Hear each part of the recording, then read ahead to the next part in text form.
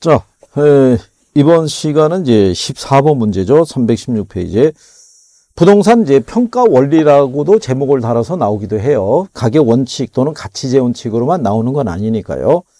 아, 거기 보시면 어, 1번의 변동과 예측의 원칙이라고 돼 있죠. 가치에 영향을 주는 여러 요인은 항상 변동하기 때문에 시장 선호도에 뒤처지는 부동산은 감가상각을 겪게 된다는 것이다. 예, 맞는 표현이에요. 그죠? 예. 그래서 시간의 경감에 따라 계량물의 가치가 점점 점점 이 감소하게 되는 것은 환경이 변함에 따라 환경에 적응을 하지 못했을 때 예를 들어서 대학가를 가게 되면요. 예전에 하숙집이었었어요. 예, 오래된 이제 전통적인 한옥 단독주택에서 하숙을 쳤는데 지금은 대학가 주변에 원룸이나 이런 것들이 새롭게 들어서죠. 그러면 이제 학생들의 입장에서는 전통적인 가옥 안에서 이 공간을 지내는 것보다는 독립된 구조의 공간에서 자기만의 공간에서 또 거주하는 것을 선호하는 사람들이 생겨나거든요. 그래서 거기에 뒤처지게 되면은 감가상각을 겪게 된다. 이런 얘기죠.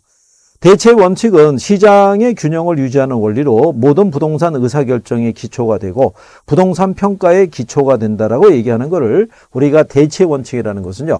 모든 물건의 가치는 그 물건과 비교가 가능한 물건에 영향을 받아서 가치가 결정이 된다라고 얘기할 수가 있죠.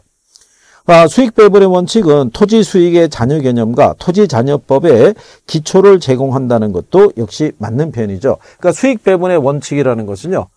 여기 이렇게 토지가 있고요. 토지에 노동과 자본을 투입해서 만약에 우리가 생산을 하게 됐을 때 자, 이 생산을 하는 과정에서 노동에 대한 대가로 50만 원, 자본에 대한 대가로 50만 원이 지불이 돼요. 근데 생산을 통해서 생산물 가격이 100만 원의 수익이 나왔을 때 여기서 생산비를 지급해야 되는데 생산비가 노동과 자본에 100만 원을 주기로 했죠. 그러면 지대가 제로가 된다는 얘기죠. 그죠? 자, 그런데 노동과 자본에 대한 대가를 주면서도 토지에 대한 대가를 지불하지 않는 것은 고전학파 경제학자들은 토지를 자연물로 봤기 때문에 생산 요소에 대한 대가를 지급할 이유가 없다고 본 거죠. 자, 그런데 문제는 이 토지의 비옥도가 좋아서 생산물의 가격이 120만 원이 됐다. 그러면 100만 원을 공제하면 남는 게 20만 원이 남죠. 남는 잉여의 크기가 토지의 가치를 결정한다는 게 그게 토지 잔여법의 논리가 되는 거죠. 예, 그래서 거기에 바탕이 된 것이 수익 배분의 원칙이다. 이런 얘기죠. 예, 기회비행 원칙은 자본에 대한 요구 수익률을 측정할 때 기준이 되는 것이 기회비행 원칙인데 틀린 건 5번이죠. 특정한 구성요소의 가치는 구성요소의 생산비가 가치를 결정한다면 틀리죠. 기여의 원칙이라는 제목대로 생산비가 아니라 기여도에 의해서 가치가 결정이 된다 이런 얘기고요. 그 다음에 이제 15번에 보시면 저희가 여기 이론 강의할 때, 자, 변동의 원칙이라고 얘기하면 기준 시점의 근거가 된다. 이렇게 노란색으로 해드는 이유가 뭐냐면 이런 식으로 대표적인 것만 물어볼 수 있다는 거죠. 기능적 감가랑 관련이 있는 건 균형의 원칙, 경제적 감가랑 관련이 있는 건 적합의 원칙, 기준 시점이 필요한 건 변동의 원칙. 그렇죠? 예. 그래서 거기에 맞는 게 5번이 되겠죠. 예, 이런 식으로 각 원칙마다 이렇게 노란색으로 표시해 드린 애들은 꼭 기억을 해달라. 예, 이런 얘기가 되겠죠. 그 다음에 이제 16번에 보시면 다음과 같은 현상을 설명할 수 있는 감정평가 이론상의 부동산 가격 원칙을 물어봤어요. A 지역에 대한 지역 분석 결과 서민들이 거주하는 단독주택 지역인데 여기에 고급 주택이 들어섰다는 얘기죠. 예, 16번에 보시면 그러니까 이런 거겠죠. 서민들이 모여 살고 있는 거주하고 있는 서민 주거 지역에 이렇게 고급 주택이 들어서게 되면 그러면 이 고급 주택이 만약에 20억을 들여서 지었다. 서민들에 대한 주거는 3억에서 5억 사이다. 얘가 20억의 매물로 나오면 적정한 가치를 인정받기 어렵죠. 왜? 이 동네에 거주하는 사람들은 이 정도의 규모의 주택을 거래 대상으로 삼지 얘를 거래 대상으로 삼을 수 있는 건 아니죠. 얘 자체에 문제가 있는 게 아니라 주변 환경에 어울리지 않기 때문에 발생하는 것이다. 이런 얘기죠. 그래서 거래사례법을 적용해서 해당 고급 주택을 평가한 가격이 건축 비용에도 미치지 못했다. 관련 있는 원칙은 적합의 원칙이 되겠죠. 예. 그래서 그렇게 구별하시면 되겠고요. 그 다음에 이제 뒤로 가시면 최유효 이용의 원칙에 관한 설명 중에서 틀린 것은 무엇이냐 이렇게 물어본 거죠. 자, 이 거기 보시면 현재보다는 미래 최대 수익을 발생시킬 수 있는 방법으로 부동산을 이용하는 것을 전제로 한다 이런 얘기죠. 그리고 이제 어, 객관적으로 합리적 합법적 최고 처선의 이용 방법을 의미할 때 예, 부동산의 최대 가치는 시장 가치보다 생산 가치에 에, 치중한다 그랬으니까 걔가 잘못된 내용이죠. 생산 가치보다는 시장 가치의 기준을 해서 우리가 최유 이용 상태를 판정하는 것이다 이런 얘기죠.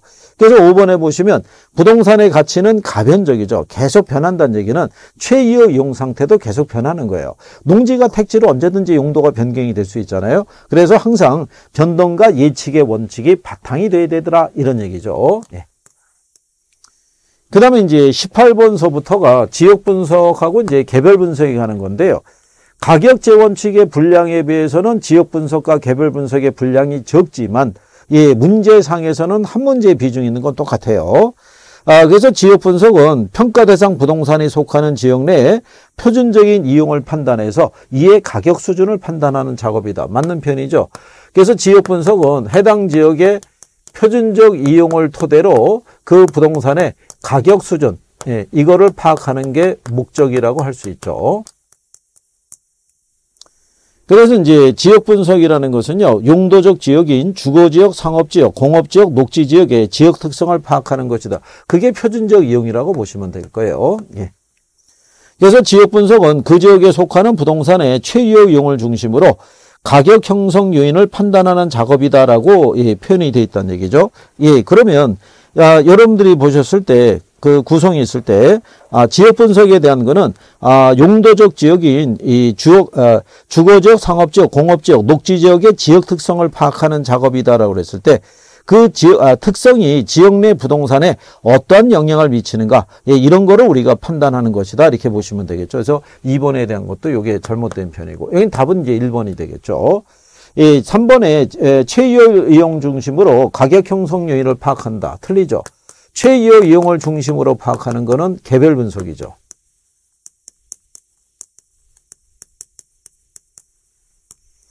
그 다음에 이제 지역 분석은 표준적인 이용의 입지인자를 분석해서 인근 지역의 범위를 획정한다 그러면 틀리죠. 인근 지역의 범위를 획정하는 것이 아니고 지역 분석의 대상은 인근 지역, 유사 지역, 동의수권까지 존재한다고 보시면 되겠죠.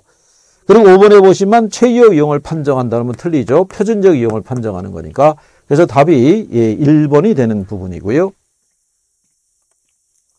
예, 그 다음에 이제 그 밑에 이제 옆에 이제 19번에 가서 보시면 감정평가 이론상 지역 분석에 관한 설명으로 옳지 않은 거. 예. 자, 일단 지역 분석은 개별 분석보다 선행되는 게 원칙이죠. 그래서 선행이 예, 지역 분석이 되는 거고요. 이게 거시적이자 광역적이자 예, 예, 그래서 전체적인 분석을 하는 것이 이게 지역 분석이고 표준적인 이용을 토대로 가격 수준을 판정하는 거. 예, 후행이 개별 분석이죠. 그래서 어, 이게 이런 얘기죠. 지역 내 개별 부동산의 가격을 우리가 도출하기 위해서는 이 지역 내 가격 수준이 판정이 돼야 되죠. 그래서 이 가격 수준 하에서 개별 부동산의 가격이 구체화될 수 있다. 예, 그래서 이제 19번에 5번을 보면 지역 분석은 그래서 개별 분석보다 선행되는 게 원칙이고요. 지역 분석은 당해 지역을 전체적이고 거시적으로 파악하는 것이죠. 지역 분석의 결과로 표준적 이용을 파악할 수 있다는 얘기죠. 예, 그래서 여기서의 답은 1번이죠. 유사적까지 분석함으로써 구체적인 가격을 판정하는 게 아니라 가격 수준을 구체적인 가격을 판정하는 것은 개별 분석을 통해서 이루어지는 케이스죠. 그래서 19번의 답은 1번이 되겠죠. 예. 예, 그 다음에 이제 20번에 보면 감정평가에서 지역 분석에 관한 설명 중에서 옳은 거를 물어봤을 때, 자, 우리가 이제 지역 분석의 대상 지역에는 인근 지역, 유사 지역, 동의 수권이 있는데 가장 중요한 거는 인근 지역이죠. 예. 그래서 여기 1번은 틀린 거죠. 유사 지역이 아니라 그건 인근 지역이죠. 예. 그 다음에 성숙도가 낮은 이행지의 동의수권은 이행 후의 용도 지역의 동의수권과 일치한다. 이게 후보지하고 이행지에 대한 동의수권의 범위를 판정할 때는요.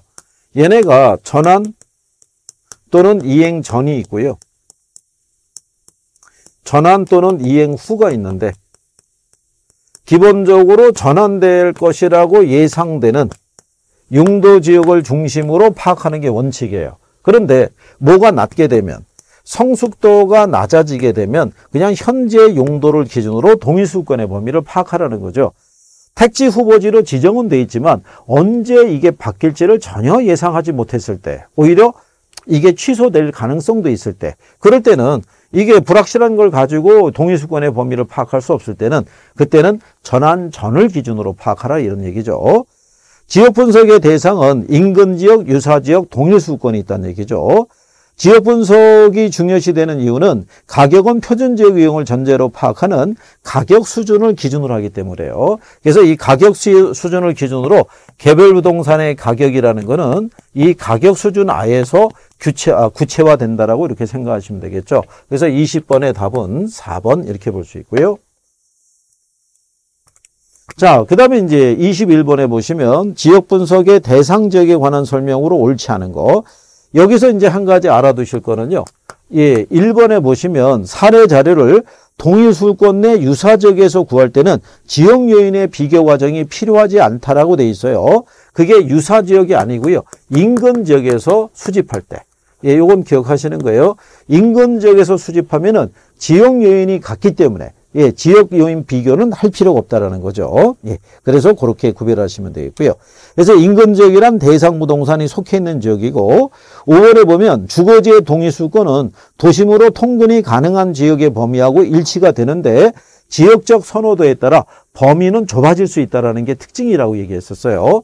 우리가 이제 주거를 정하게 되면요. 만약에 서울에 직장이 있는 사람은 서울에다가도 주거를 정할 수 있고 예를 들어서 뭐 일산이라든가 평촌이라든가 이렇게 출퇴근이 가능한 데는 다 주거를 정할 수 있으니까 여기가 동일 수권이 돼요. 그런데 아이들의 교육적인 환경을 중시한다 그러면 오로지 강남에만 주거를 정하는 게 제일 유리하겠죠. 그러면 이 주, 에, 주거지를 선택할 수 있는 공간 범위가 좁아질 수도 있다는 얘기예요. 좁아질 수 없다 그러면 틀리다는 거, 예, 그거 기억하시면 되겠죠. 예.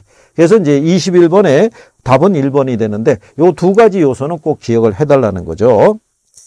예, 인근 지역의 수명 현상이 나타나 있는데요. 시험에서는 인용이 된 거는 이제 오래전에 인용이 된 거죠. 예, 그래서 22번에 보시면 인근 지역의 생애 주기는요. 이런 사이클을 그리면서 변하는데 전체를 100년으로 봐요. 그러니까 우리나라 기준이 아니라 서구 기준이죠. 이제 여기서의 중요 단계는 성장기와 성숙기와 세태기 있죠.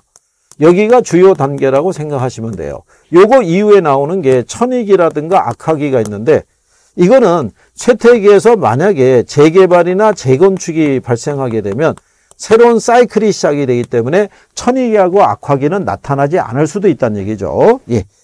그래서 여기 여러분들이 보시면 천익기에서 재개발이 일어나면 악화기가 도래하지 않을 수 있다. 맞는 편이고요. 만약에 쇠퇴기에서 재개발이 발생하면 천이기하고 악하기는 발생하지 않을 수도 있다. 역시 맞는 면이라는 얘기죠. 예, 그래서 그렇게 보시면 되겠고 지역의 수명성은 자연적인 어떤 자원에서만 발생하는 건 아니고요. 지역 내에 들어서 있는 각종 건축물들의 어떤 변화에 의해서도 발생할 수 있고요. 성숙기에서 지가 상승률이 최고가 되고 주민들의 이주 활동도 활발한 것은 주로 이 성장기죠. 지가 상승률이 계속 높은 단계고요. 성숙기는 안정 단계라고 생각하시면 되겠죠. 그래서 주민들의 이동도 거의 발생하지 않는 수준이다. 이렇게 보시면 되겠죠. 그리고 도시 성장이 빠르게 진행되는 곳에 인근 지역일수록 수명 주기가 짧아요. 예, 그런 데일수록 빨리빨리 또 재개발이라든가 환경이 계속 변하기 때문에 그렇다. 이렇게 여러분들이 정리하시면 될 거예요. 예. 그 다음에 이제 뒤로 넘어가셔서 24번에 보면 동일 수권에 관한 설명 중에서 옳지 않은 거를 물어봤어요. 예, 어, 앞에 있는 이제 22번에서, 예, 음, 답은 이제, 예, 거기 나와 있는 대로 1번 이렇게 보시면 되겠고요. 예. 자, 24번에 보시면 어, 동일 수권에 관한 설명으로 소규모 점포지가 주로 있는 이 보통 상업지의 동일 수거는요, 일반적으로 좁은 것이 보통이죠. 그래서 이제 이 동일 어, 상업지는 배우지를 기초로 성립하는데 이게 고도 상업지역 같으면은 넓은 배우지를 기초로 성립을 하죠.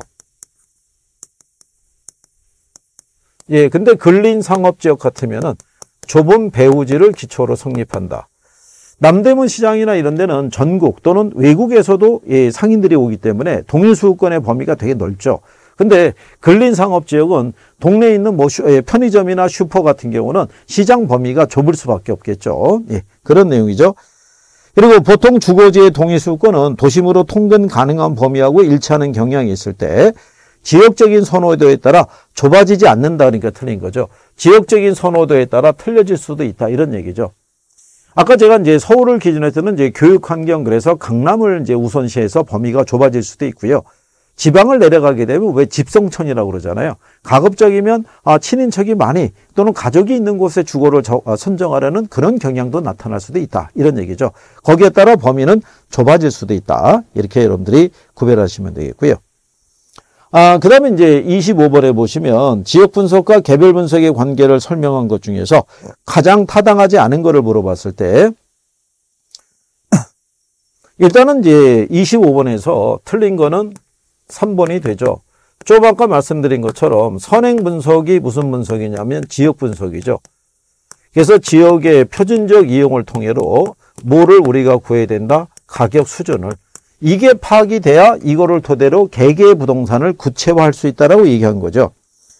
그 3번에 보시면 부동산의 감정평가액을 구할 때는 먼저 개별 분석을 통해서 개별 개개 부동산의 가격을 구하고 그 다음 지역 분석을 통해서 인근 지역의 가격 수준을 판정해야 된다. 그러니까 틀린 거죠.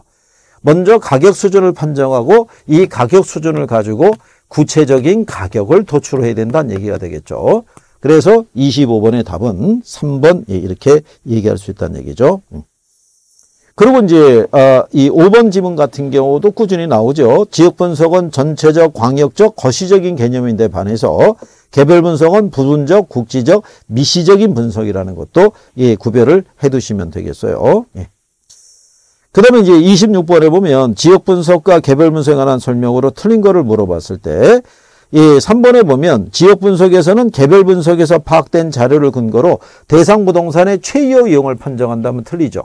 표준적 이용을 판정해야 되겠죠. 그래서 26번도 일단 답은 3번이 된다. 이렇게 여러분들이 보시면 되겠고요. 예. 그리고 이제 동의수요권은 인근 지역을 포함하고요. 인근 지역과 상호 관계에는 유사 지역이 존재하는 공간적인 범위다라고 얘기하니까 예, 그런 것들을 예, 염두에 두시면 되겠고요. 자, 그 다음에 이제 27번에 가시면 지역 분석과 개별 분석에 관해서 박스 형태로 출제되기도 해요. 예. 자, 거기 보면 가장 올바른 걸 물어봤을 때 기억해 보면 인근 지역이란 대상 부동산에 속한 지역으로 가치 형성 요인 중에서 지역 요인을 공유하는 지역이죠. 개별 요인에서 틀린 거죠. 인근 지역의 경계는요. 고정적이 아니라 유동적이고 가변적이라고 보시면 돼요. 새롭게 주거지가 조성이 될 수도 있고요. 새로운 상업시설이 들어설 수도 있고 이런 변화가 있다는 얘기죠. 그 다음에 지역 분석을 행함으로써 사례 수집의 범위를 파악할 수 있다. 맞는 거예요. 자, 만약에 이 지역이 주거지역이면 주택은 한 뭐 동정도 수준에서도 사례를 구할 수 있을 거예요. 근데 상가나 공장 같으면은 동정도 수준에서는 안 되고 구단위까지는 범위를 넓혀야 된다. 이렇게 사례를 수집할 수 있는 범위를 우리가 파악할 수 있다 이런 얘기고요. 지역 분석을 행하는 목적은 구체적인 가격을 판정한다면 틀리죠. 가격, 수준을 판정하는 게 그 목적이 되더라 이런 얘기가 되겠고요. 지역 분석을 행한 다음에 개별 분석을 하는 이유는 용도의 다양성과 개별 부동산의 최유 이용이 다를 수 있기 때문이다. 그렇죠? 예, 맞는 표현이죠. 그 얘기는 뭐냐면 주거 지역에 소재하고 있는 부동산이라고 해서 다 100% 주택은 아니라는 거예요. 그렇기 때문에 지역 분석을 한 다음에 개별 물건마다 최유 이용 상태가 틀리니까 개별 분석을 또 별도로 해줘야 된다는 얘기가 되겠죠. 예. 그래서 맞는 거 하게 되면 디귿하고 미음하고 두 개. 예, 그러니까 답이 2번이 되겠죠. 예. 자, 그래서 이제 이런 식으로 여러분들이 예, 구별을 할 수 있는 이제 그런 관계가 되겠죠. 예. 그 다음에 이제 그 옆에 29번을 보시면 지역 분석과 개별 분석의 관계를 놓고 봤었을 때 틀린 것을 물어봤다는 얘기죠. 근데 거기 3번에 보시면 지역 분석은 인근 지역을 전체적이고 거시적인 차원에서 분석하는 데 비해서 개별 분석은 대상 부동산을 미시적이고 구체적으로 분석하는 개념이다. 이런 얘기죠. 이것도 근래 자주 나오는 거니까 알아두시면 되겠고요. 4번에 보면 지역 분석을 통해서 기능적 감가를 확인하고요. 개별 분석을 통해서 경제적 감가를 확인한다 그러면 틀리다는 얘기가 되겠죠. 그렇죠? 예. 우리가 지역 분석을 통해서 예, 거기 이제 문제상에서 보시면 예, 지역 분석을 통해서 예, 경제적 감가. 예. 그다음에 개별 분석을 통해서는 예, 기능적 감가. 예, 이거를 우리가 이제 판정하는 개념이라고 보시면 되겠죠. 예. 그래서 이제 4번에 보게 되면 기능적 감가하고 경제적 감가의 표현이 바뀌어 있다는 얘기죠. 예. 그리고 선행은 지역 분석이 어, 선행되는 것이 일반적이 되겠죠. 예, 그래서 그렇게 정리하시면 되겠고요. 여기도 어렵지 않게 나온다는 건요. 우리가 30번 문제를 가지고 확인하시면 되는데 이게 재작년에 나온 거죠. 지역 분석은 해당 지역의 무슨 이용? 표준적 이용. 예. 그러면 1번 아니면 2번이 답이죠. 예. 그 다음에 개별 분석은 대상 부동산의 최이호 이용을 판정하는 것이죠. 예. 그 다음에 대상 부동산이 속한 지역 그러면 인근 지역밖에 없죠. 그래서 답이 2번 이렇게 되겠죠. 그러니까 여기는 어렵지 않게 나와요. 예, 그러니까 기본적인 용어만 알아두셔도 문제를 충분히 풀 수 있다는 것을 인식을 하셔야 된다는 얘기죠. 예, 그래서 그렇게 구별하시면 되겠고요.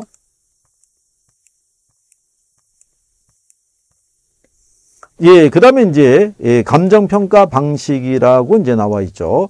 감정평가 방식도 매년 시험에는 꼭 나오는 파트죠. 계산이 나올 수도 있고, 이론이, 요즘은 이론이 나온다는 게 하나의 특징이에요. 그래서 이론 안에서, 3방식 안에서 원가법에서는 이 감가 수정을, 그 다음에 거래사례 비교법은 사례 채택 기준을, 예, 수익환원법에서는 환원 이유를 중심으로 이론을 정리를 좀 해둬야 된다. 예, 이런 얘기가 되겠죠. 자, 감정평가 방식에 대한 설명인데 3방식의 근거가 가격의 삼면성이 있다는 얘기죠. 그래서 이 삼면성이라는 거는 원가 방식은 비용성의 사고에 기초하고 있고요. 그 다음에 비교 방식은 시장성에 그 다음에 수익 방식은 수익성에 기초를 두고 있다 이런 얘기죠. 여기는 요 비용성, 시장성, 수익성이 요게 삼면성이라고 할 수 있겠죠. 그래서 원가 방식은 비용성, 비교 방식은 시장성, 수익 방식은 수익성을 말한다 이런 얘기죠. 자, 3방식으로 구한 가격이 시산가액이라고 그러고요. 각 방식으로 구한 가액은 결국 같다라는 것이 삼면 등가성의 이론이며 이는 긍정론과 부정론이 있다라고 얘기를 해요. 그 얘기는 무슨 얘기냐면 삼면 등가성의 원리라는 것은요. 이 세 가지의 논점에서 구한 가액은 결국 같아진다는 거예요. 근데 그 같아진다는 거는 완전 경쟁 시장에서만 같아진다는 것이지 불완전 경쟁 시장에서도 같아지지는 않는다 이런 얘기죠. 예, 그래서 긍정론도 있고 부정론도 있다라고 얘기를 해요. 그리고 이제 3방식 중에서 시장의 거래 상황을 비교적 잘 반영해서 설득력이 강한 게 원가 방식이라면 틀리는 거죠. 가장 설득력이 좋은 건 비교 방식이에요. 예, 그래서 예, 여기서 틀린 거는 3번이죠. 무슨 얘기냐면 원가 방식은 과거에 오래전에 30년 전에 지어진 건물의 가격을 지금 다시 신축하는 데 들어가는 비용을 구해서 감가액을 공제해서 구하는 개념이다. 이런 얘기가 해야 되는 거고요. 수익 방식은 이 부동산에서 앞으로 미래 벌어들일 수익을 기준으로 가격을 구한 것이다. 근데 비교 방식은 뭐냐면 옆집이 5억에 거래돼서 이 집이 5억입니다. 가장 설득력이 좋다는 얘기죠. 왜? 시장에서 거래된 내역을 갖고 얘기하니까. 그래서 설득력이 가장 풍부한 거는 비교 방식의 논리라고 얘기를 해요. 예. 그래서 그렇게 구별하시면 되겠고. 그래서 이제 3방식에 관한 이제 기본적인 성격 정도도 알아놔 두셔야 된다는 얘기죠. 그 다음에 이제 2번을 가서 보시면 자, 감정평가 방법의 종류별 산식이다. 가론에 들어갈 내용으로 옳은 거. 자, 원가법에서 적산가액을 구하려고 그러면요. 어디에서? 제조달 원가에서. 감가액을 공제를 해서 구하는 거죠. 예, 그러니까 거기 기억에 들어갈 게 뭐냐면 예, 제주다 원가. 예, 그러면 1번 아니면 2번이 되겠죠. 그 다음에 거래사례 비교법에서 에, 우리가 뭐를 구해야 되냐면 거래사례 비교법에서는 비준가액 또는 유추가액을 구해야 되겠죠. 그래서 거래사례 가격으로부터 사시지계면 하면 된다라고 말씀을 드린 거죠. 그래서 비준가액으로 나온 건 몇 번밖에 없다? 1번이죠. 그리고 이제 마지막에 수익가액은 이 수익환원법을 통해서 구하는 거죠. 예, 그래서 3방식에서 나온 비용성, 시장성, 수익성과 가액을 구하는 방법과 임대료를 구하는 방법에 제목 정도는 기본적으로 알고 계셔야 된다는 얘기죠. 예, 예 정리해 두시면 되겠고. 그 다음에 이제 문제 3번에서도요, 가로 안에 이제 들어갈 내용을 물어봤는데, 적산 임료를 구한다는 거죠. 적산 임료는 대상 부동산을 임대차익에서 투자한 돈이 있죠. 기초 가액에다가 기대 이율을 곱하고요. 여기에다가 필요 재경비를 가산해서 구하는 거라고 말씀을 드린 거죠. 그렇죠? 그리고 여기서 이거를 가산을 해줘야지 공제해주면 안 된다고 그랬어요. 내가 임대 사업을 하기 위해서 10억을 투자했는데 기대율이 만약에 10%예요. 그러면 10억이 10%면 1억이잖아요. 근데 경비가 예를 들어서 2천만 원이 들어가는데 얘를 만약에 빼주게 되면 1억의 수익이 보장이 안 되잖아요. 그러니까 이걸 가산을 꼭 해줘야 된다는 거죠. 그리고 이제 수익 가격, 아, 수익 가액이라는 것은 순수익을 환원 이율로 환원해서 구하는 거죠. 그렇죠? 예, 그러니까 니은에 들어가는 게 환원이율. 예, 그 다음에 이거는 기대율. 그죠? 예. 그래서 기대율과 환원율이 적용이 되는 4번이 답이 되겠죠. 예. 그래서 이제 이렇게 예, 여러분들이 구별을 하시면 되겠고요. 예, 그 다음에 이제 4번에 보시면 감정평가 3방식 및 시산가액 조정에 관한 설명으로 틀린 걸 물어봤을 때 자, 1번에 나와 있지만 3방식은 예, 비용성과 수익성과 시장성에 기초하고 있죠. 그리고 이제 시산가액은 삼정평가 3방식에서 도출한 각각의 가액이다 이런 얘기죠. 그런데 3면 등가성의 원래 입각하면 세 개의 방식에서 구한 가액은 딱 같아야 되는데 부동산 시장이 불안전 경쟁 시장이다 보니까 세 방식으로 한 가액이 항상 일치하지는 않더라 이런 얘기죠. 그래서 세개 방식에서 구한 가액을 재검토함으로써 사, 예, 만약에 가액 간의 격차가 있으면 그거를 조정해 주는 거를 시산가액 조정이다라고 얘기하는 거죠. 그래서 시산가액을 조정을 하는 것은요. 감정평가 규칙상의 규정이 돼 있어요. 그러니까 예를 들어서 아, 우리가 이 구한 가액 중에서 적산 가액도 있고요. 그 다음에 비준 가액도 있고, 그 다음에 이제 수익 가액이 있다고 그랬을 때, 얘네들이 최종 평가 가치가 아니라 이게 시산 가액이라는 거죠. 세 개로 구한 것들이 다 같지는 않다는 얘기죠. 그래서 얘네를 조정을 해서 최종 평가 가치를 구해야 되더라 이런 얘기죠. 그래서 최종 평가 가치에서 얘네를 조정할 때는 산술 평균하면 안 된다는 얘기죠. 그렇죠? 예, 그래서 산술 평균하는 것을 예, 방법만 인정이 된다는 4번이 틀렸다 이런 얘기죠. 예, 그래서 그거를 이제 기억하시게 되는 게 그게 이제 여러분들이 거기 뒤에 가서 문제 5번을 보시면 다음 자료를 활용해서 시산가액 조정을 통해서 구한 감정평가액은 이렇게 물어봤을 때요. 자, 무슨 얘기냐면, 아, 거기 보시면 거래 사례를 통해서 시산가액이 1억 2천이에요. 자, 1억 2천일 때 밑에 봤더니 가중치가 부여가 되어 있는데 원가 방식이 20%, 비교 방식이 50%, 수익 방식이 30%예요. 그럼 여기다가 50%를 적용하면은요. 얘는 6천이 되겠죠. 자, 그 다음에 이제 조성 비용을 통해서 구한 시산 가액이 1억 1천인데 아, 비용성에 기초한 게 원가 방식이죠. 그러면 1억 1천에 대한 20% 그러면 2,200이 나오겠죠. 예. 그 다음에 이제 어, 임대를 통해서 구한 시산 가액 있죠? 걔가 1억이라는 얘기죠. 근데 이제 그 밑에 수익 방식에서는 30%를 적용한다고 그랬으니까 얘가 3천이 되겠죠. 네. 그러면 다 더하게 되면 1억 1,200만 원 나와요. 근데 여러분들이 그냥 우리가 얘네 세 개를 더한다고 생각해 보세요. 세 개를 다 더하면 3억 3천이에요. 3억 3천일 때 나누기 3을 하게 되면 1억 1천 나온다고요. 이렇게는 하면 안 된다는 거죠. 가중치를 달리 둔다는 얘기는 얘가 거래사례비법의 가중치가 크다는 얘기는 얘는 사례가 풍부한 부동산이에요. 일반 주거용 부동산과 같이. 그러니까 여기서 구한 가격에 가중치를 제일 많이 두고 나머지로 구한 방법하고 비교하란 얘기예요. 그래서 격차를 조정했더니 1억 1,200이 나왔다는 얘기잖아요. 이게 가중치를 가중 평균에서 구한 가액이죠. 그러니까 산술 평균하는 건 아니더라 이런 얘기예요. 그죠? 예. 그래서 그리고 하단에 해설해 보면은 감정평가 방법의 적용 및 시산 가액 조정이라고 감정평가 규칙상에서 이게 명시가 돼 있는 거예요. 그죠?